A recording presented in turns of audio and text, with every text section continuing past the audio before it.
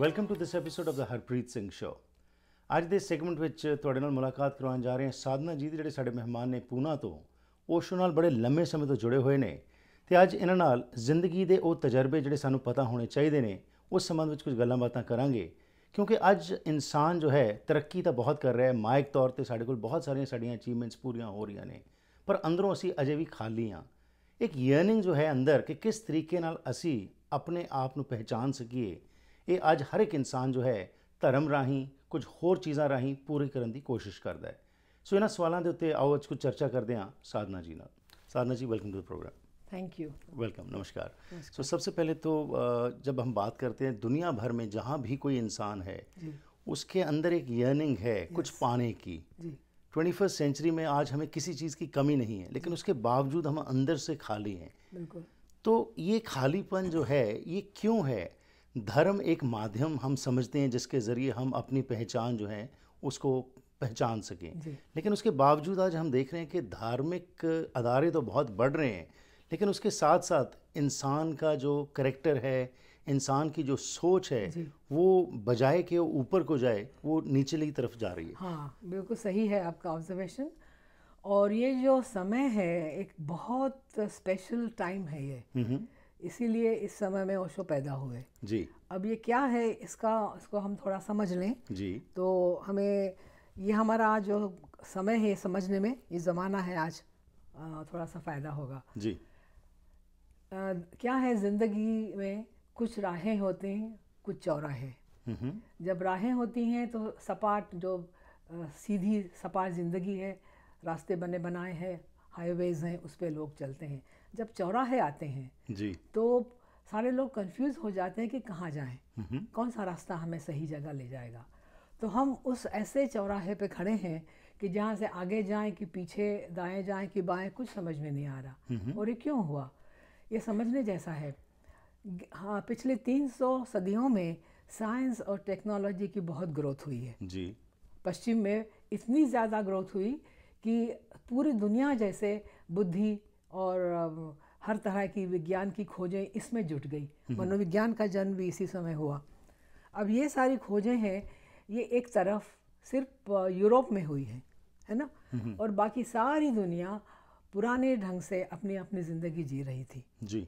तो इस पर रोशन ने बड़ा अच्छा कहा है कि जो टेक्निक या टेक्नोलॉजी की जो ग्रोथ है उतनी उसके हिसाब से उसी तरह आदमी की चेतना की ग्रोथ भी होनी चाहिए। जी। जो नहीं हुई। तब हुआ क्या है कि जैसे बंदर के हाथ में आप एटम बम पकड़ा दो। राइट तो जो तहलका मचेगा जो तबाही होगी वो आज हो रही हमारे साथ। मन जो है पुराना है हम्म, बंदर जैसा है जी। और टेक्नोलॉजी बहुत खतरनाक और बहुत नए किस्म की है। तो दोनों का मेल होना बहुत ज़रूरी है। तो आपने चेतना की जो बात की जी। हर एक धर्म में चेतना को ऊपर करने के लिए ही कुछ तरीके बताए गए कुछ जीवन के कैसे जीना है उसके बारे में बातें की गई। लेकिन हमने अगर हम भारत को देखते हैं भारत से क्योंकि हम लोग आए हैं और वहाँ पे हम लोग अपने आप को religious semi you know quasi in quotes religious या स्पिरिचुअल कहते हैं। लेकिन आज जब हम भारत की तरफ़ देखते हैं तो हम कंपेयर तो जब वेस्ट से करते हैं हम कंप्लेन करते हैं कि वेस्ट में नंगेज है यहाँ पे लोग जो हैं बहुत ओपन सोसाइटी है। जबकि भारत की जब हम बात करते हैं तो कोई भी ऐसा प्रांत नहीं होगा जहाँ पे कोई ज्ञानी विज्ञानी नया हुआ हो हाँ। जिसने के अंदर की बात ना की हो चेतना को ऊपर करने की बात ना की हो।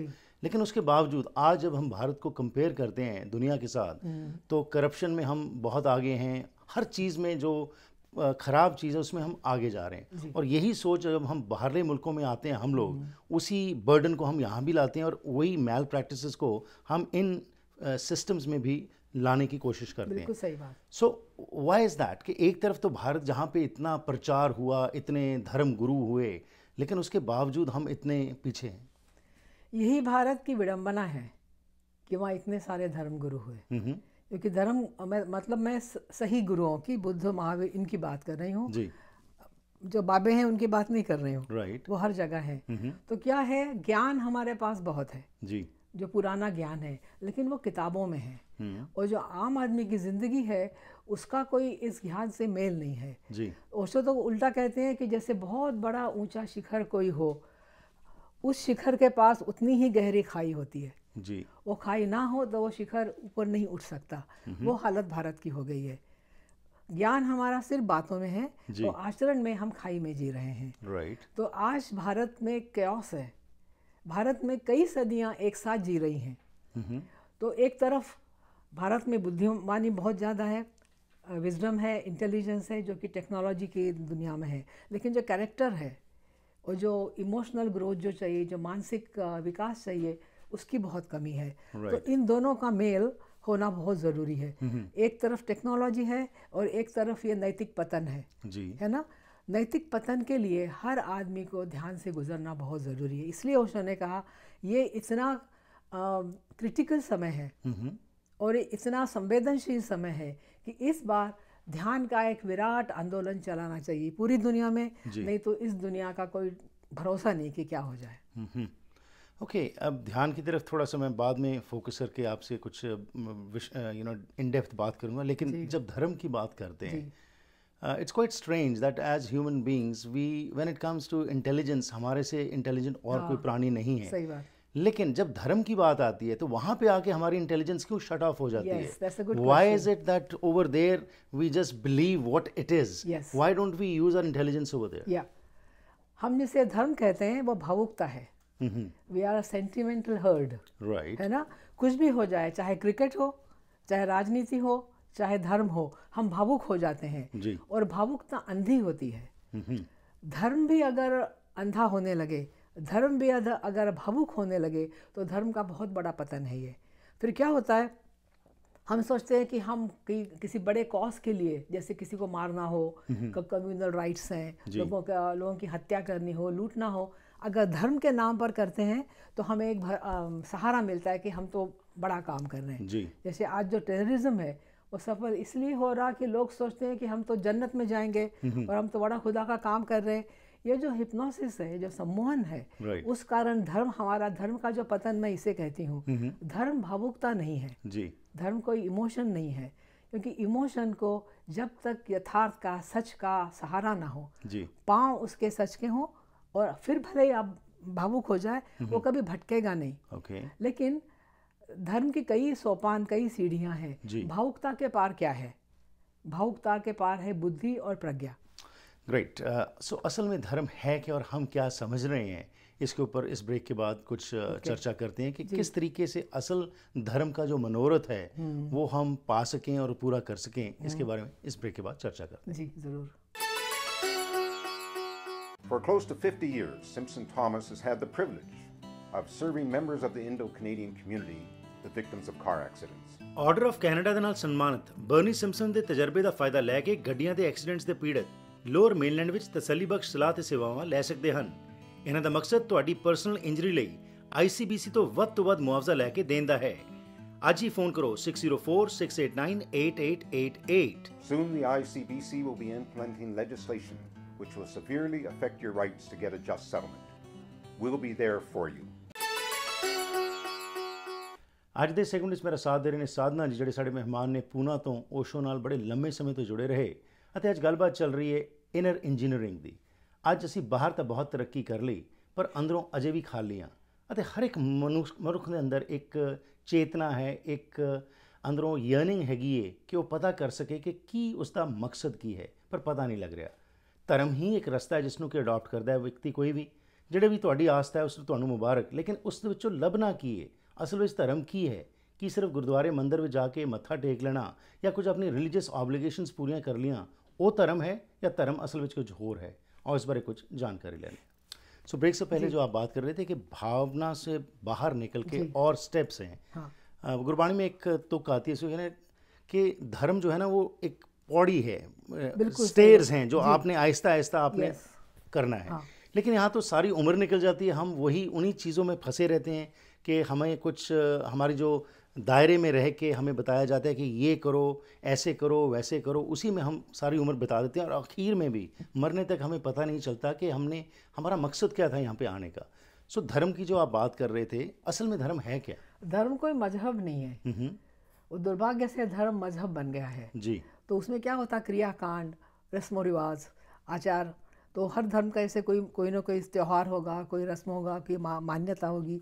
ये धर्म नहीं है। धर्म के दो पहलू मैं देखती हूँ कि एक तो एक्सटर्नल रिलीजन और इंटरनल रिलीजन Right. या कहें हम साकार form religion with form and formless right तो कोई भी मज़हब कोई भी धर्म आपको लड़ना काटना टुच्चापन या स्वार्थ नहीं सिखाता फिर भी हम उसमें क्यों पड़े रहते हैं? और खुद को धार्मिक कहते हैं क्योंकि ये धर्म ही नहीं है। हम्म।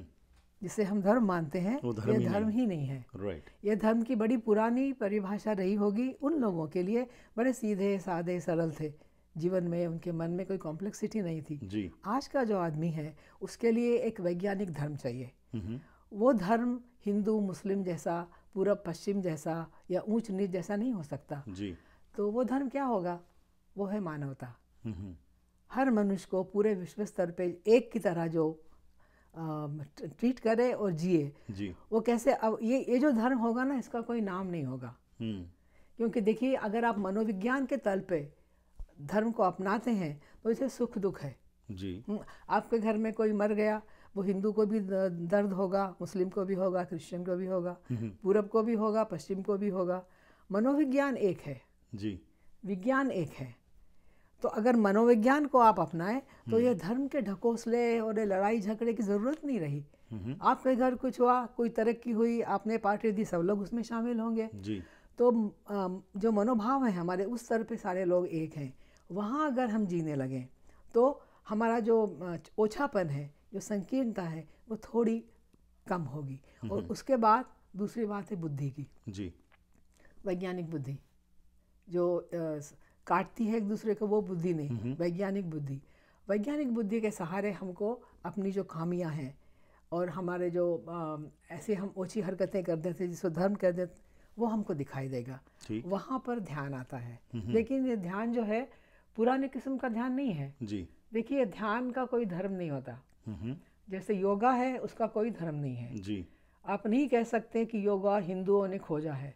हाँ भारत में वो खोजा गया लेकिन हिंदुओं ने नहीं खोजा। क्यों? क्योंकि योगा एक विज्ञान है।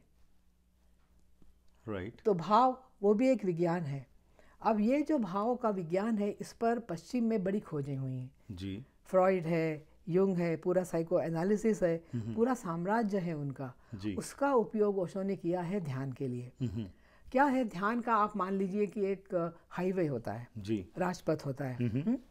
अब हम लोग उससे इतना हट गए हैं अब ध्यान की छोटी छोटी पगडंडियाँ बनानी ज़रूरी हैं। Right right. है ना? Mm-hmm. और जो पगडंडियाँ हैं उसको ओशो एक्टिव मेडिटेशंस कहते हैं। राइट फॉर एग्ज़ाम्पल आज अगर किसी आदमी को जो बहुत अपने बिज़नेस में व्यस्त है उसको बोलो कि सब छोड़ तू hmm. और पाँच मिनट कुछ ना कर। जी। मोबाइल वोबाइल सब छोड़ दे आँखें बंद करके बैठ जा। बैठ सकता है? नो एक तो शरीर में उसकी इतनी बेचैनी कभी खुजली आएगी कभी मेरे मच्छर काट रहे कभी मेरे कुछ हो रहा है। जी। मन में क्या चलेगा? अरे मेरा तो कोई इंपॉर्टेंट फ़ोन कॉल रह गया और मुझे अपॉइंटमेंट थी ये है वो है। Right. तो आज का आदमी चुपचाप शांत नहीं बैठ सकता। हम्म। ओशो ने क्या किया? ऐसे उन्होंने टेक्निक्स बनाई कि उससे बहुत शरीर के लिए नाचो या ब्रीदिंग करो या मन का रेचन करो। जो है तनाव अंदर जी। उसको खाली करो। जी। वो खाली करने के बाद आप अपने आप शांत बैठ जाएँगे। Right right. तो ये जो है ये मनोवैज्ञानिक और वैज्ञानिक ध्यान की विधि है।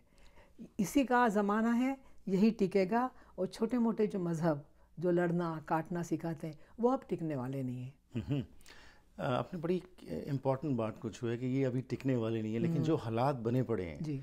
आज दुनिया का इतिहास जब हम देखते हैं तो आज तक जितने लोग मारे गए धर्म के नाम के ऊपर शायद वैसे नहीं मरे होंगे। बिल्कुल सही। लेकिन हमारी सोच हम विशाल सोच कहते तो हैं लेकिन जब धर्म की बात आती है जिस भी मज़हब के साथ हम जुड़े हैं हम फिर संकोच कर लेते हैं अपनी सोच को और उसी में फंस जाते हैं क्योंकि जैसे आपने पहले कहा था कि emotions become heavier on us yes so इस चीज़ में से बाहर निकलने के लिए ध्यान एक तरीका है। अगले सेगमेंट में मैं आपसे ध्यान के ऊपर फोकस करके बात करूँगा लेकिन जब भगवान की बात करते हैं हम after all there is some source entity जो मर्ज़ी हम नाम दे दें उसको भगवान कह दें राम कह लें वाहिगुरु कह लें अल्लाह कह लें कोई ऐसी एंटिटी जो है इस दुनिया को चला रही है अ, हमें गाइड कर रही है तो ओशो के मुताबिक व्हाट इज़ गॉड अभी जवाब दो? जी। Okay okay. अगर आपको ओशो का जवाब दूँ तो आप शायद बुरा मान जाएँगे। बताइए। हैरान रह जाएँगे। जी। ओशो कहते हैं गॉड जैसा कोई है ही नहीं। ठीक। ना कभी था। उनकी एक बहुत बड़ी किताब है God is dead ji. And man is free to live. Right या? गॉड क्या है? गॉड एक कल्पना है। एक छोटा बच्चा होता है। जी। वो अकेले सोने से डरता है। उसको एक टेडी बेयर चाहिए। जी। क्योंकि वेस्ट में तो माँ बाप के साथ सोता नहीं। टेडी बेयर लेके या कोई क्वेश्चन लेके कि ये मुझे सहारा है। राइट उसको गॉड बना लिया। तो वो कहते हैं गॉड तुम्हारा टेडी बेयर है। कि कोई है जो मुझे सहारा देगा और जो मेरी सुनेगा। और गॉड भी ऐसा उसका कि उसकी सुनता उसके दुश्मन की नहीं सुनता। ऐसा कोई गॉड हो सकता है? नो तो ये तुम्हारा खिलौना है एक टॉय है। वो उस आदमी के लिए था जो अविकसित था। जी। जैसे अगर आप ह्यूमैनिटी का ले लें उसके भी एक विकास के तल होते हैं। जी। तो वो लोग बचकाने थे। बुद्धि उतनी इतनी विकसित नहीं थी। तो उनको उन्होंने हर जगह जैसे देवताएँ देवियाँ क्या है ये? हम्म कहीं कोई वैष्णो माता दिखी आपको कहीं खड़ी हुई?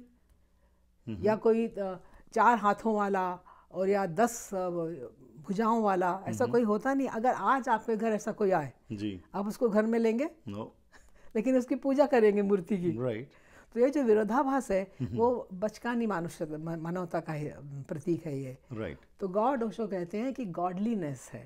राइट मतलब भगवत्ता है भगवान नहीं है। ठीक। तो आज जैसे न्यूक्लियर एज में हम जी रहे हैं जब इन लोगों ने एटम का एक्सप्लोर किया जी। आइंस्टाइन या बाकी सारे लोगों ने उनको दिखाई दिया कि एटम भी नहीं है। जी। एटम एक्सप्लोडेबल है उसको आप एक्सप्लोर जब करते हैं तो सिर्फ़ एनर्जी बचती है। जी। अगर हम एनर्जी के जगत में विज्ञान में जी रहे हैं तो गॉड भी एनर्जी है। Right right. क्या नाम दो उसको? mm-hmm. क्या मूर्ति बनाओ उसकी? कोई फ़ोटो इम्पॉसिबल No. इम्पॉसिबल है ना? तो उसके साथ जैसे विज्ञान विकसित हुआ आदमी की बुद्धि विकसित हुई हमारा गॉड भी विकसित हुआ है अभी। Let's go for a break वापस आते हैं। और ये जो आपने बात अगेन आखिर में की कि गॉड भी विकसित हुआ। जी। लेकिन हमारी सोच फिर वही मेरा सवाल जो पहले था कि यहाँ पे आके क्यों रुक जाती है? वैसे हम बहुत सियाने हैं। हर एक चीज़ में हमने उन्नति कर ली। लेकिन इस सवाल के ऊपर आज भी हम अड़े हुए हैं और इससे बाहर निकलना नहीं चाह रहे। तो क्या हमें भी वो जो टॉय जिसकी आपने ज़िक्र किया बच्चे के लिए एक टॉय है? क्या हमें भी एक सहारा चाहिए जिसकी वजह से हम सिर्फ़ इस शब्द के साथ सिर्फ़ जुड़े हुए हैं? लेकिन वो गॉडलीनेस अपने जीवन में लाने के लिए तैयार नहीं है। इसके बारे में बात करते हैं। इस ब्रेक के बाद। ਵੈਨਕਾਸਾ ਟਾਈਲ ਅਤੇ ਸਟੋਨ ਸ਼ੋਰੂਮ ਇੱਕ ਐਸੀ ਥਾਂ ਹੈ, ਜਿੱਥੇ ਤੁਹਾਨੂੰ ਹੋਲਸੇਲ ਕੀਮਤਾਂ ਤੇ ਹਰ ਕਿਸਮ ਦੀਆਂ tiles, stone, marble, backsplash, mosaic ਆਦਿ ਵਾਜਬ ਕੀਮਤਾਂ ਤੇ ਮਿਲ ਸਕਦਾ ਹੈ। ਇਟਾਲੀਅਨ, ਸਪੈਨਿਸ਼, ਚਾਈਨੀਜ਼ ਪੋਰਸਲਨ ਜਾਂ ਸਿਰੈਮਿਕ ਟਾਈਲਸ ਜਾਂ ਮਾਰਬਲ, ਸਪੈਸ਼ਲ ਆਰਡਰ ਤੇ ਜਾਂ ਕਲੀਅਰੈਂਸ ਤੇ ਲੈ ਸਕਦੇ ਹੋ। ਮਾਲਕ ਡਾਇਰੈਕਟ ਟਾਈਲਸ ਇੰਪੋਰਟ ਕਰਦੇ ਹਨ, ਜਿਸ ਕਰਕੇ ਵਧੀਆ ਕੁਆਲਿਟੀ ਦਾ ਸਮਾਨ ਤੁਸੀਂ ਆਪਣੇ ਘਰ ਦਾ ਸ਼ਿੰਗਾਰ ਬਣਾ ਸਕਦੇ ਹੋ। ਅੱਜ ਹੀ ਵਿਜ਼ਿਟ ਕਰੋ 13042884 ਐਵਨਿਊ ਸਰੀ ਪੰਜਾਬੀ ਹਿੰਦੀ ਵਿੱਚ ਗੱਲ ਕਰਨ ਲਈ ਕਾਲ ਕਰੋ। 604 330 7363 604 330 7363 once again welcome back to the program Sadhana ji ਨਾਲ ਗੱਲਬਾਤ ਚੱਲ ਰਹੀ ਹੈ ਬਹੁਤ ਹੀ ਮਹੱਤਵਪੂਰਨ ਵਿਸ਼ਿਆਂ ਦੇ ਉੱਤੇ, ਕਿਉਂਕਿ ਇਹ ਚਰਚਾ ਰੋਜ਼ਮਰਾ ਜ਼ਿੰਦਗੀ 'ਚ ਅਸੀਂ ਕਰਦੇ ਹਾਂ, ਪਰ ਸਮਝ ਨਹੀਂ ਆ ਰਹੀ। ਬਹੁਤ ਕੋਸ਼ਿਸ਼ਾਂ ਕੀਤੀਆਂ ਜਾ ਰਹੀਆਂ ਨੇ, ਪਰ ਉਸ ਦੇ ਬਾਵਜੂਦ ਇਨਸਾਨ ਅਜੇ ਵੀ ਹਨੇਰੇ ਵਿੱਚ ਹੈ। ਆਓ ਕੁਝ ਚਾਨਣ ਪਾਉਣ ਦੀ ਕੋਸ਼ਿਸ਼ ਜੋ ਸਾਧਨਾ ਜੀ ਕਰ ਰਹੇ ਨੇ, ਇਸ ਉੱਤੇ ਕੁਝ ਹੋਰ ਗੱਲਬਾਤ ਕਰਦੇ ਸੋ अब यहाँ पे आके जो ब्रेक से पहले हम बात कर रहे थे कि यहाँ क्यों हमारा चेतना या हमारा दिमाग जो है अड़ जाता है। और इसके लिए निकलने के लिए इस सोच से आप क्या समझते हैं क्या करने की ज़रूरत है? ओके। अगर सच्ची सच्ची गल करूँ मैं जी बिल्कुल। देखिए मेरे में कुछ पंजाबी सवार हो गया अभी। चंगी गल है फिर मैं भी पंजाबी गल करना थोड़े नाल। You are infectious that's why कि हमारा जीवन स्किज़ोफ्रेनिक है। जी। वे आर स्किज़ोफ्रेनिक राइट मतलब हमारे दो दो भी नहीं कई चेहरे कई चेहरे हैं। जीने का चेहरा एक पैसे कमाने का चेहरा दूसरा। राइट अ, भावुकता का चेहरा तीसरा परिवार के साथ एक और। उन सब ये जो मैस है अंदर उलझाव है उसके भीतर कहीं एक छोटा सा गॉड के लिए है Right. एक जगह। तो हम जब धर्म की गॉड की बात करते हैं वो भावुकता से ऊपर नहीं उठ पाते हैं। Right. सच्ची बताऊँ हम्म, तो गॉड की हमें ज़रूरत ही नहीं है। जी।